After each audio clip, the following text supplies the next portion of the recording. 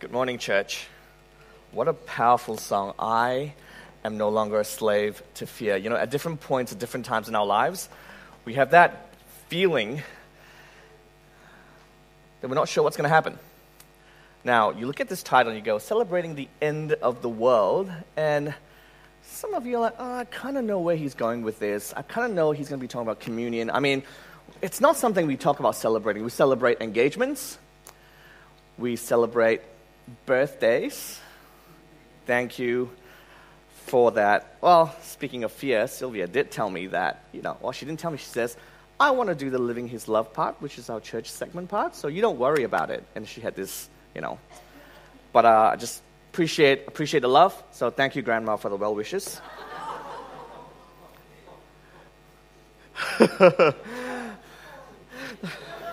I'm sorry, I'm sorry. Mom and Dad told me to be kind to the elderly. So let's move on to our sermon for today. Communion and the second coming is inexplicably linked together. We are in part four of our Pictures of Faith series. So once we come to part five, what we're going to do is we're actually going to um, kind of give you a bit of a summary uh, from each week as we go forth from there. But today, I want to get straight into it, so I'm going to kneel as I would like to normally do. Uh, as we pray, feel free to stay seated.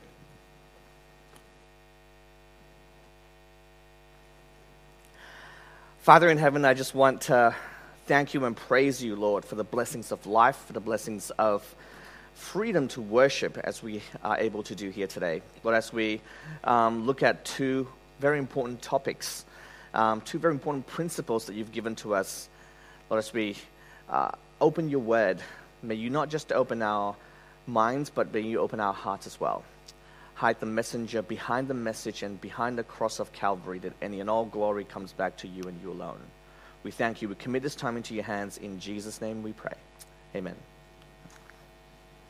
Um, communion, what we call Holy Communion, or you would have heard the term ordinances, is celebrated once a year, uh, once a quarter rather, here in the Seventh day Adventist Church.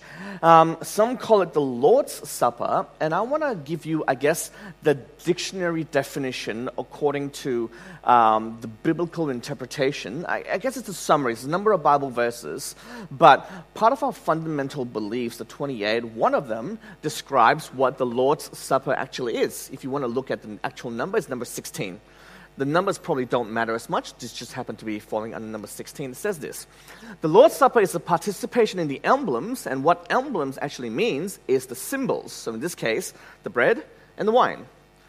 In the emblems of the body and blood of Jesus as an expression of faith in Him, our Lord and Savior. In this experience of communion, Christ is present to meet and strengthen his people. As we partake, we joyfully proclaim the Lord's death until he comes again. Preparation for the supper includes self examination, repentance, and confession. The Master ordained the service of foot washing to signify renewed cleansing, to express a willingness to serve one another in Christ like humility, and to unite our hearts in love. The communion service is open to all believing Christians. So, what we do here at the Adventist Church is a little bit different than communion in other churches because we have this thing called foot washing. And what that really means is, according to John chapter 13, it's a sign of humility where we are serving each other. But a core essence of communion is actually in this uh, highlighted bit here. We joyfully proclaim the Lord's death until he comes again. So the second coming is literally in the Seventh day Adventist name. We call ourselves Seventh day Adventist Christians because we are looking forward to the, the Advent, which means the coming. You look excited. Maybe because we've kind of been distracted and it's very easy to be distracted by what happens here. And, and maybe it's easy to forget what that actually means. Now, don't get me wrong. I'm not implying in any way that we should just live as if we've got nothing to live for in this world. Certainly, that is not the case. Certainly, I don't live that way. But I think with all the distractions of the world, um, we can simply lose sight of what is to come. I want to share a little bit more about that, but consider how, I guess, the Christian world in general portrays the coming of Jesus and the end of the world. Prepare for the end of this world, and people are out there with flyers. And on top of that, they say things like, God saves from hell because the end of the world is coming and you are going to, if you don't, you know. God is, the, is, is angry with the wicked every day. The end is near. The king returns May 21st, 2011. Some of you will remember Harry Camping. Um, so he, Harold Camping rather, so he predicted that the world was going to end on May 21st, and then he had a couple of other predictions. May, uh, October 21st was the, other, was the other date. He spent $100 million telling the world that the world was going to end. I remember hearing about it uh, 2011. I was on a bus with some, uh, uh, some friends, actually, in May. Um, and it was May 23rd, I think it was. So we were just talking. Oh, by the way, is the world supposed to end yet? oh, yeah, two days ago. And we just laughed and we just continued. There's this perspective that the end of the world, um, we lose sight of what it means. And Hollywood has kind of shaped the end of the world on the other side of things. Some of you may have uh, watched this movie. I haven't. I looked. I saw bits and pieces of it. There was a really really troubling scene because Will Smith is the only person left in the world, and him and his dog, and everything else, everyone else had been turned into zombies. That's a movie you should watch, right? Um, so in 2012, this movie was released in 2007 or 2006. So he says in 2012, the world is going to end. It's going to be an apocalyptic sort of a thing. In speaking of 2012, there was also another movie, literally called 2012, where the world supposedly ended, the crust of the earth was becoming unstable, and it was inspired by true events based on the Mayan calendar. Um, and they built arks to escape the cataclysm. Hollywood has been trying to paint this picture for a very long time. Some of you remember this two movies that came out at the same time about a giant asteroid that was going to come and destroy the earth. And, and one movie, Deep Impact, had this dramatic scene Oceans Rise. Not the song that we sing, but Cities Fall. And there's this dramatic, you know, eh, eh, close up of faces of people just, you know, oh, and all that. I, I, obviously, I I'll, I'll keep my day job. But at the end of the day, the end of the world picture has a really apocalyptic feel to it, to the point where, the, what do you want to celebrate? And it doesn't help when, as Christians, we paint the end of the world in going to heaven as something like this, where we are literally sitting on clouds, playing the harp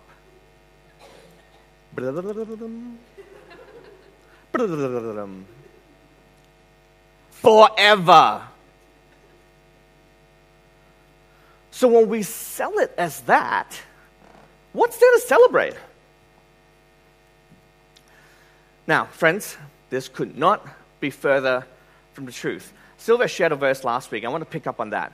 Um, in essence, you could almost say this forms the, the, the, the, the basis of our entire series. It's found in 1 John chapter 4 and verse 8 we kind of uncover some of the heresies, so to speak, of what people think the Bible is. The, the Bible, God says that, uh, the Bible says that God is love, according to 1 John chapter 4, verse 8. It's not so much that God is loving or he loves, but God is love. So, in the context of that, we should probably look at the second coming at communion, and we're going to tie it all together based on that principle, and more importantly, based on what the Bible says. I'm going to fire some Bible verses to you relatively quickly. And once again, I'm happy to share my notes. Um, some of you will be familiar with some of these verses, but I want to share, throw some of the, uh, these at you relatively quickly.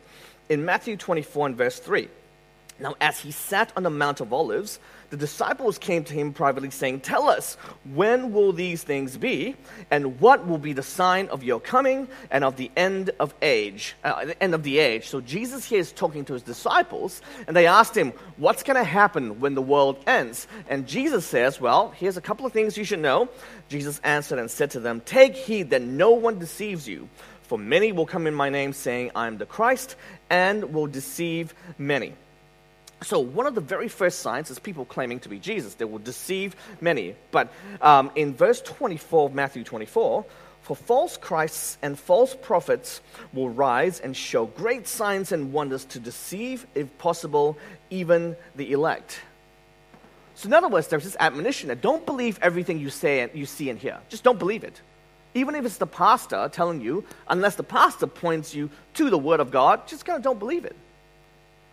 Because especially in 2 Peter chapter 2 and verse 1, but there were also false prophets among the people, even as there will be false teachers among you, who will secretly bring in destructive heresies, even denying the Lord who brought them, and bring on themselves swift destruction. So that's why all of these guys that talk about the end of the world, supposedly, purportedly to be Christians, deny Jesus' love and are literally destructive heresies. Some of you may remember this guy.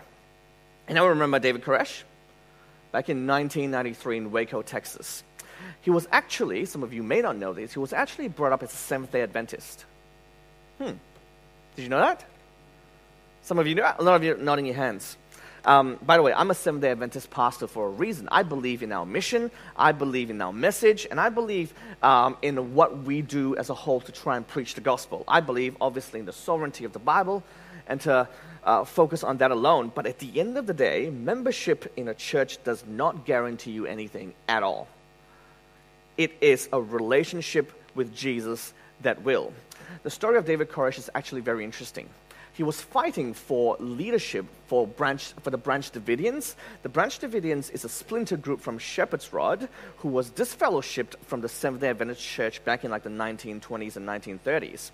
Now, uh, it's interesting because George Roden was the other guy who was challenging uh, David Koresh, and they both claimed to be prophets, and so the challenge was to raise the dead. I mean, that's, that's one way of proving your leadership, right? So David Koresh says, sure, but to do that, we need a body. You can see where I'm going with this, right? So David Koresh says, you know what? You go first. So George Roden says, fine, I'll dig up a body, I'll exhume the body. He dug it up, and what David Koresh did was David Koresh called the cops on George and got him arrested for digging up the body and disturbing the gravesite. There's many other crazy stories out there about this guy, but at the end, in 1993, the FBI stormed the compounds of Waco, Texas. Um, David Koresh and 79 of his followers were killed. 79. You may think, sound, this guy sounds crazy. This guy predicts the end of the world. What? Oh, wow. Simone is saying she actually had friends that died there. I, I did not know that. You know, at the end of the day, the Bible says in Acts chapter 20, For I know this, that after my departure, savage wolves will come in among you, not sparing the flock. Also, from among yourselves, men will rise up speaking perverse things to draw away the disciples after themselves. Church, I cannot emphasize the importance of having your own walk with God. I cannot emphasize that enough. As a church pastor, as church pastor Sylvan and I, we will do our best but I challenge you to get to know Jesus for yourself. What we do is we paint pictures of faith, pictures of God, but it's up to you to take that relationship personally. There's one other thing. I want to move on. Daniel chapter 12 and verse 4. But you, Daniel, shut up the words and seal the book until the time of the end. Many shall run to and fro, and knowledge shall increase. I'm going to change the pace just a little bit now. The Bible says knowledge shall increase. Um, you can just look up facts now, um, but I want to give you some, some quick statistics. The world population is about 7.7 billion right now, 7.6, 7.7 billion. Do you know how many internet users there are in the world right now? Do you want to guess? Not quite 6.5 billion. 4.27 billion internet users around the world. Okay? 2.25 billion active Facebook users. 100, uh, 1.69 billion websites. 2.81 million emails per second. Just under 80,000 YouTube videos viewed per second. And today, or yesterday, I guess if you count one day, there was 71 million photos uploaded to Instagram in one day. This side of the church probably contributed about 80,000 of them. I don't know. It's interesting. The Bible says that knowledge will increase. If you look at how the internet, the use of the internet has increased over the last few years, if you want to go back, just say eight, nine, nine years, it's 1.6, 1.96 billion, so it's double. You go back five years before that, it's 888 million. You go back five years before that, oh, I gave it away. 304 million. You go to, you go to 1995, it's only 16 million. It's almost increasing like an exponential rate, and technology has come so far that we literally have information and knowledge at our fingertips. Literally. You know, some of you have noticed this. I put my references down at the bottom because I have seen situations where people quote stuff, and within the same minute of quoting, somebody has already looked it up and said, that's wrong. Knowledge will increase. The Bible isn't quite done. Matthew chapter 24. And you will hear of wars and rumors of wars. See that you are not troubled, for all these things must come to pass, but the end is not yet. For nation will rise against nation and kingdom against kingdom, and there will be famines, pestilences, and earthquakes in various places. You know, I can. I was. I actually had a list of everything that's happened, um, but it, it's not hard to find. The news is there. Um, just look at the front page of the news. You know, there are 815 million people today who go hungry every day right now. 815 million. More than one in ten, one in nine. I remember reading a statistic back in 2013. I should have saved the web page or the document. But um, out of the 815 million, I don't know how many people were hungry then. Um, the World Food Program says that this is 2013. There were 66 million school-aged children who go hungry every day. So 66 million who go hungry every day. Back in 2013, the World Food Program, school-aged children, and to feed these children for a year, it was going to cost 3.2 billion dollars. They're like, well, that's, that's a lot of money. That's a lot of money. $3.2 billion to feed 66 million school aged children who, are, who go hungry every day. But I also read from Harvard University's Kennedy School of Government report in 2013, also, I don't have to put it up here, you can find that quite easily. The war in Afghanistan and Iraq cost anywhere between four to six trillion dollars. So $3.2 billion, a lot of money to, to feed all those hungry kids for, for, for a full year. But if the US had not gone to war, they could have literally fed these kids for a thousand years. One trillion equals 1,000 billion, if you're wondering. It's kind of depressing, isn't it, when you think about the state of world situation, the, the world that is in. Some of these words, some of you might be able to relate to straight away. What life is like heartache, betrayal, loss, sickness, sorrow, loneliness, pain, disappointment, death of a loved one, anguish, depression. What is there to celebrate? Sorry, guys. It gets better. It does. First of all, Jesus promises this the thief does not come except to steal and to kill and to destroy. I have come that they may have life and they may have it more abundantly. So Jesus is saying, hey, the world situation isn't that great, but this is not a sermon altogether. But you can have life abundantly here. You can enjoy life. So this is where it gets better.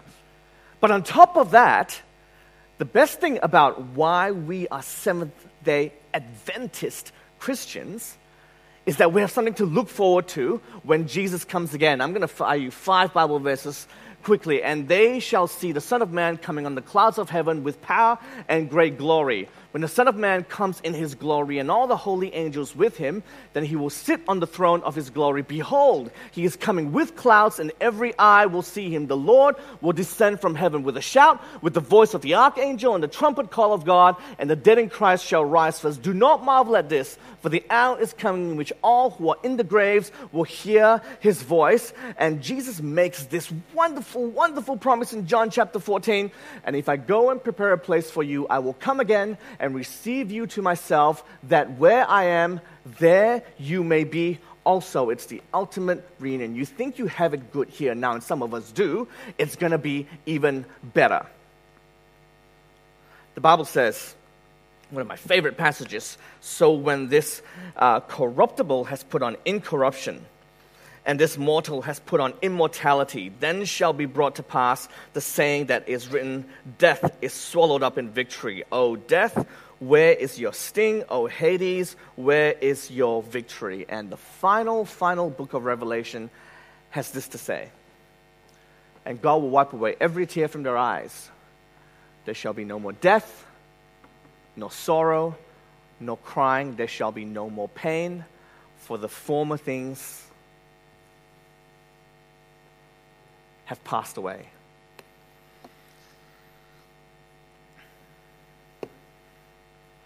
That's what we're remembering today. We're proclaiming the fact that we have hope. And for some of us, it, things are going quite well. Some of us, not so much. But we have hope. And that is worthy of a celebration. To summarize the second coming, here it is. Fundamental number 25, I think it was. The second coming of Christ is the blessed hope of the church. This is on our Adventist website the grand climax of the gospel.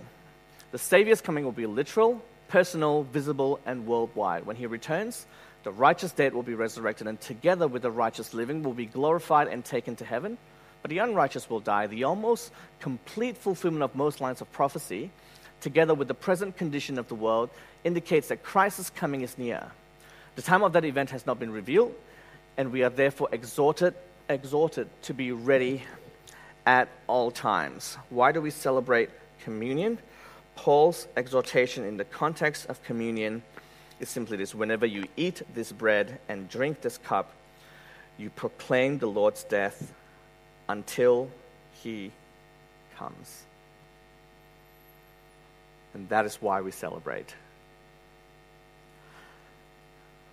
I'm going to close with a four minute video, four and a half minutes actually and then we'll have our communion, and I'll explain what that is.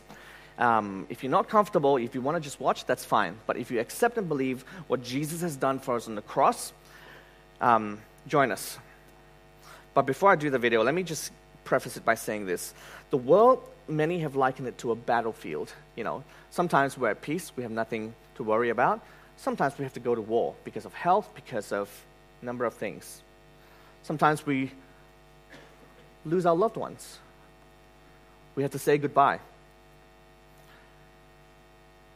This video is a very human approach to, I guess, giving us a glimpse of what it will be like when the end of the world comes, when we are reunited with our loved ones.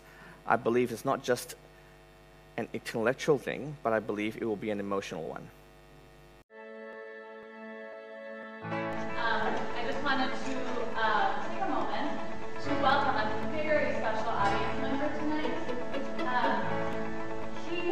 been serving overseas.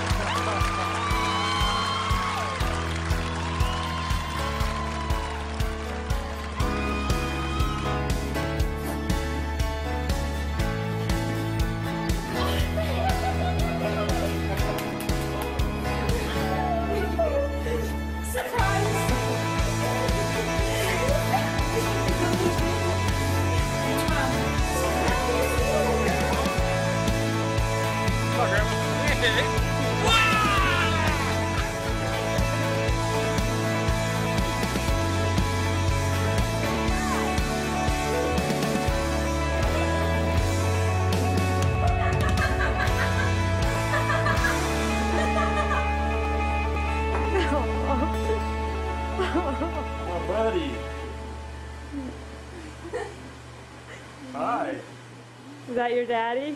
Daddy. yeah.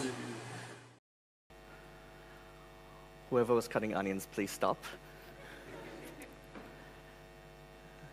Whatever you feel like right now, through the difficulties and challenges you're going through, know that we have something to celebrate and to look forward to. The devil wants us to think that leaving this world is a bad thing, but it's not.